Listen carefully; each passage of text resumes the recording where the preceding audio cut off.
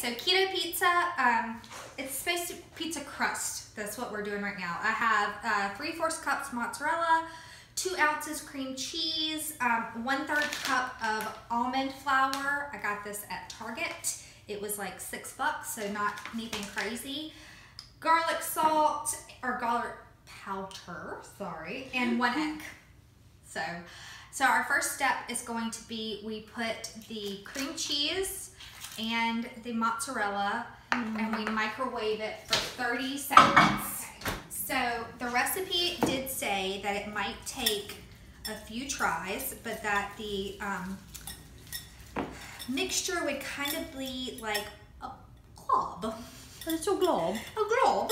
so this is the first after the first 30 seconds. And I'm just gonna put it back in here for another 30 so that it, I'll probably do 15, so that it just kind of congeals a little bit more. Okay, so this is looking a little bit better. So after 15. So this was a total of 45 seconds. And I think this one's looking good. So now what we do is we add the almond flour, garlic powder and one egg.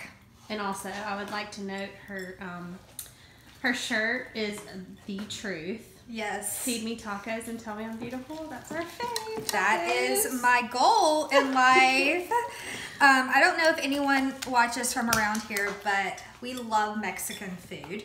And it's something that has really been hard for us yes. on this. We can have cheese, but um, and avocado and sour cream and meat, but yes. So I went to Cantina 1511 and had the um, flank steak tacos with a lettuce wrap instead of the tacos. It was yum. I have to try it. So delicious. Um, I also went to my mom's house this weekend. If you follow my Insta stories, and got um, made cheese like crisps and used that for spinach artichoke dip instead of that. Yum. So, okay, so here's the mixture. The next step is we're gonna cover it with saran wrap and put it in the refrigerator for 10 minutes. You don't have to do this, but a lot of the reviews that I have read say that this that helps it to be more spreadable and just a little bit easier for 10 minutes. This is what it looks like now. Mm. So can't smell it, but it smells delicious with the garlic and the mozzarella, so I'm pretty excited. Yum. Yum. This is my first time using almond flour, so. This is my first time too, we'll so. see. And we will tell you exactly what we think. Don't worry. okay, so now we're gonna grease the pan. And I'm actually gonna put a little grease on my hands because this is gonna be pretty sticky, I think. It's still a little bit warm, but yeah, it's just the glob. Mm-hmm. it looks just so appetizing. Yum. Yum. So it's supposed to be a half inch thick. Yes. So that's what she's doing now. Hmm. We shall see. Yes. Super excited. I am excited because I've kind of been craving pizza. And usually I don't, but like when I'm obviously on this diet, everything looks delicious. So. Right.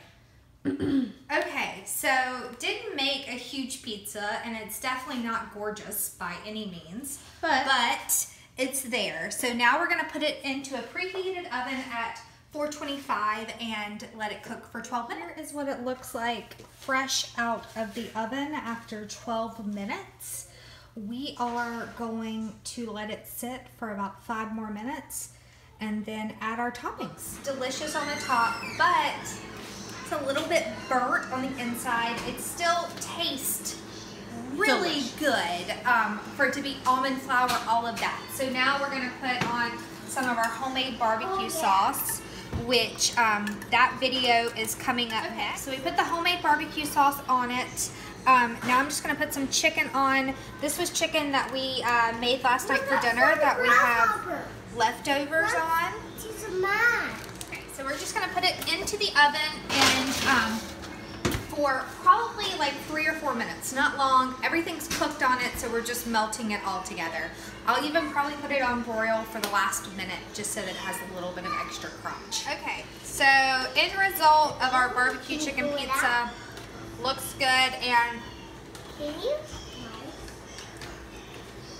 The tastes really good actually. Mm-hmm. Like Mmm. Like a pizza. decent. Yes, I will say it tastes super decent. So good recipe. My mom would